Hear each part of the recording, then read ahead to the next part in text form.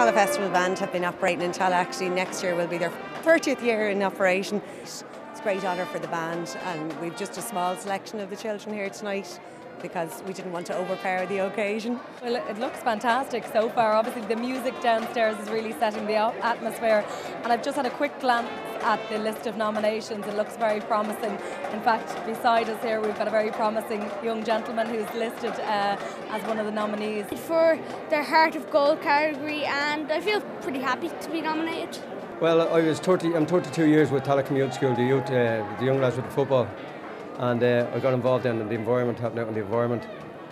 Uh, well, basically, it's combining two things I love art and local history.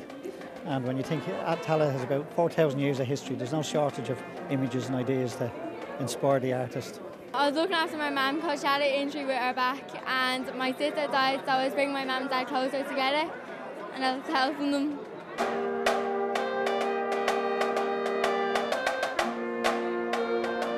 How do you think this night benefits the Tallaght community?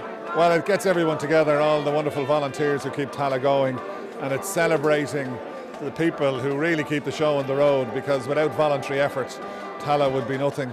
And over the years, it's gone from being a place where I suppose it felt it was the poor relation, and the reason it was dragged into the place it is today and transformed was obviously there was a lot of effort at official level, but the main reason was that people didn't give up volunteers, people in communities, they kept on going.